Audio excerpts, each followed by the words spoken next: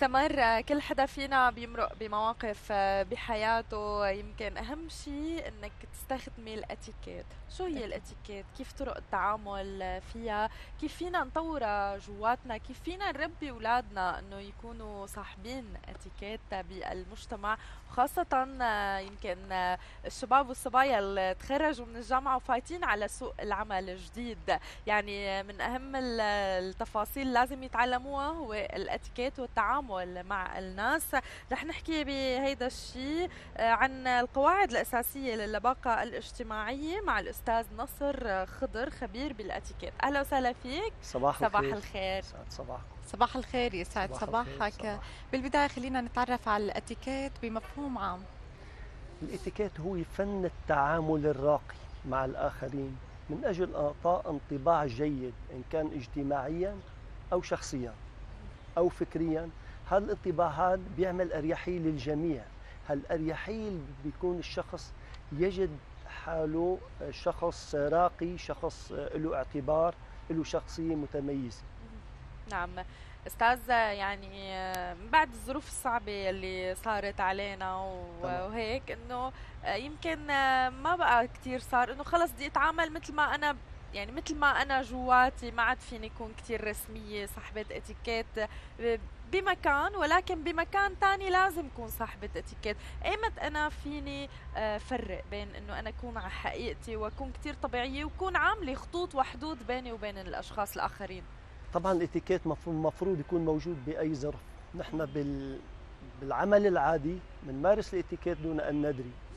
لأنه هو مجموعة من القواعد والأنظمة اللي بتنظم حياتنا إن كان بتعاملنا مع نفسنا أو مع الآخرين.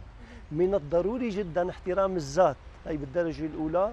ثم مشان الآخر يعطيني نفس الانطباع إنه يحترمني أيضا. وبالتالي نحن بكل تصرف نقوم فيه بالبيت لحالنا مع الآخرين هو تصرف راقي. من المفروض أن يكون تصرف راقي. وبالتالي هذا إتيكيت. عمليا هالإتيكيت ممكن نرفع مستواه وممكن يكون أقل.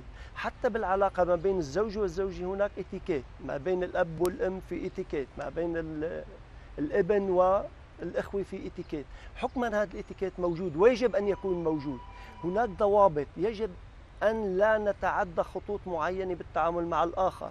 وبالتالي لا نستطيع الفصل ما بين إنه نعمل اتيكيت هون وما نعمل اتيكيت هون إلا بظروف معينة. ظروف تمام. معينه إن كان بال بالسلام والتحية إن كان باللباس إن كان بتقديم الهدايا إن كان بالمجاملات أو شيء أو شيء آخر. يعني هون الاختيار ممكن نكسر بعض الحواجز المعينة وبهذه الحالة نكون قد كسرنا قواعد الاتيكيت أكيد.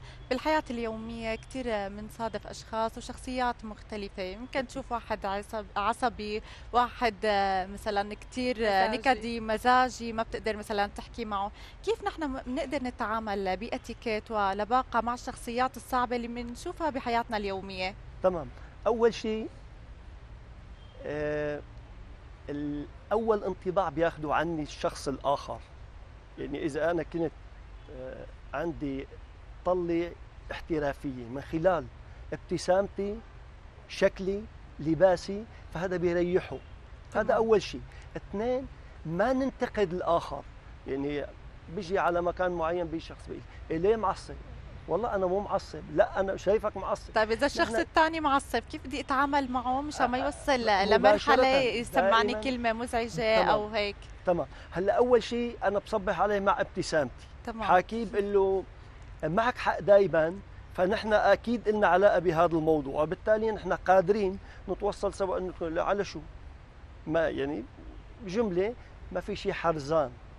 أنت وجودك أهم. من أي مشكلة بتكون. وبالتالي بيصير عنده قبول إنه تحكي معه أو يلجأ لك هو مشان يطلع من حالة الاسترس اللي هو موجود فيها مباشرة. وبالتالي أيضا بعطيه جزء من الاهتمام. مو مباشرة بشوفه أنا دغري ال body language تبعي دغري ب- أنا دغري بيصير هون هذا التجاعيد أو هي أكيد العبسه لا لا ابدا. بتبتسم له تماما بتقول له انت أنت كثير حلو. لباسك اليوم بجنن. أو شفتك شعراتك حلوين. يعني بعطيه أي شيء بخليه شوي يصير relax تمام الدخول إلى سوق العمل كمان بيتطلب تحضير أكيد. قبل للاتيكيت أكيد. شو هي أبرز الكلمات أبرز المواقف تمام. أبرز اللبس يمكن ال body language أكيد. شو هي هدول التفاصيل يلي لازم أي شاب هلأ تخرج من الجامعة بده يقدم على سوق العمل إنه هو يتقنها تمام هلأ أول شيء لازم يكون له CV خاص فيه. هال CV هذا مو مفروض يكتب CV واحد لكل الاماكن اللي ممكن تعرض عليه عمل أو يتقدم له. من المهم جدا أنا كشخص بدي أتقدم لعمل بمؤسسة معينة يكون في سي في خاص بهذه المؤسسة. اللي يعني حتى صاحب العمل يشعر إنه أنا عامل له شيء خاص فيه. كثير مهمه هي القصة. فأنا بكرس النقاط الرئيسية اللي بتخدم آه، عملية الجذب باتجاه هذه الشركة. يعني في قصص لا تعنيهم ابدا قد قد لا تعنيهم. وبالتالي أنا ما في داعي آخذ من وقته بشعروا إنه أنا بدي أعطيك الشيء اللي بي- بهم حضرتك. فانا بهالحاله هي بدي أدرس الشركة صاحب الشركة توجهات الشركة أهداف الشركة وبعمل هذا ال CV. طبعا هذا ال CV أنا بقدمه بكل مصداقية ما بيصير أنا اكتب شيء قد يكون. غير صحيح مزبوط قد يكون مانو نحن بتشوفي حضرتك دائما بتكتبي له اللغة الأجنبية بيكتب لك ممتاز. جيدة أو أو جيد جدا. أنا لا أعتقد إنه في حدا جيد جدا. لأنه حتى ال- الإنجليز ما بيكونوا مثل اللغة العربية عندنا ما حدا جيد جدا. وبالتالي في. عندنا قواميس وبدنا نرجع لها و و إلى آخره. وبالتالي لنكن صادقين بهذا الموضوع. هذا من الشق الأول للتحضير. بعدين بدي أختار اللباس المناسب. لروح على مكان المقابلة أعمل هاي المقابلة مع هؤلاء الناس. مهم كثير إختار اللباس. فبدي اعمل دراسه بالأول. هل يجب أن أكون رسميا؟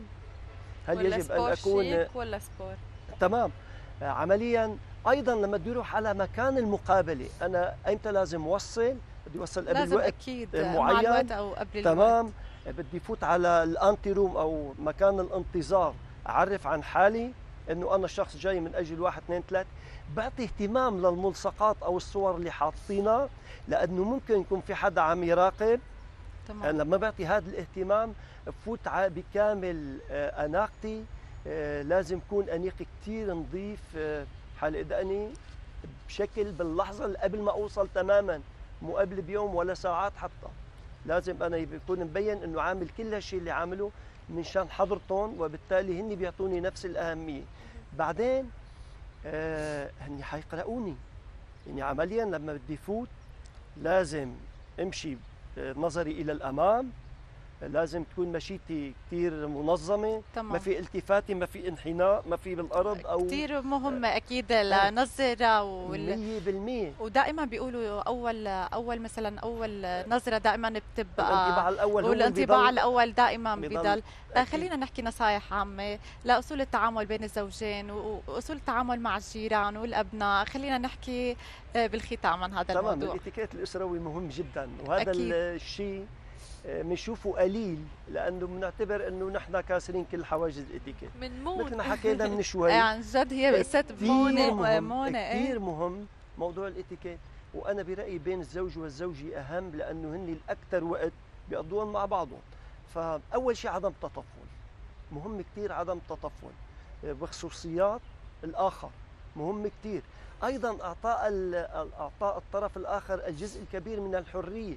الحرية بيجوز بجلسة خاصة بغرفتي بمكتب بغرفتها بمكتبها أنا ما فوت direct لا بدق الباب بنتظر شوي ممكن يكون عندها انفعال معين أو شيء. من المهم أنا أحترم هذه الخصوصية. أيضا عمليات الانفعال.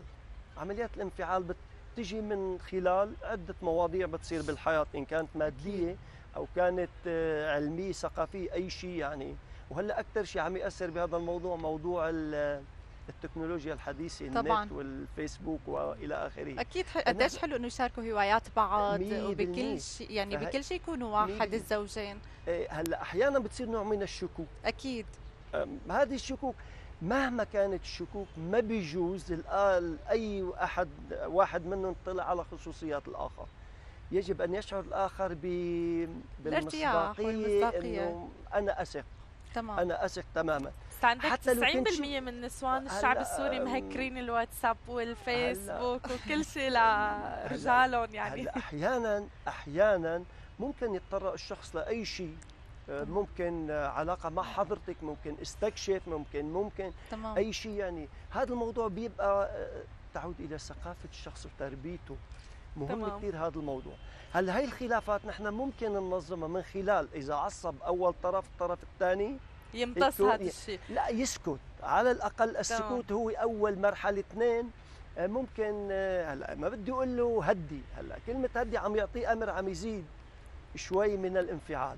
وبالتالي طبعاً. بكل بساطة نبتسم الابتسامة. ونلتقي كلامنا أكيد دائما 100% وتصرفاتنا بالبيت وبرا وبالعمل 50%. بكل مكان 100%. أكيد بنتشكرك على نصايحك. القيمة وأكيد كثير استفدنا اليوم من المعلومات اللي. قدمتها شكرا لوجودك بحلقة ثانية نحكي بشكل موسع عن الإتيكيت شكرا كثير لك.